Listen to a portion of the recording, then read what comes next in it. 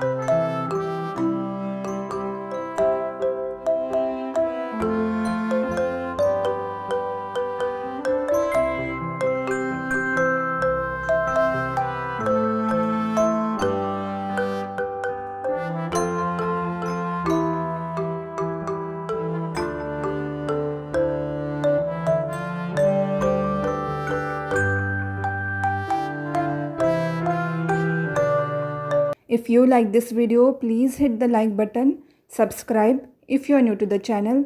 Thank you.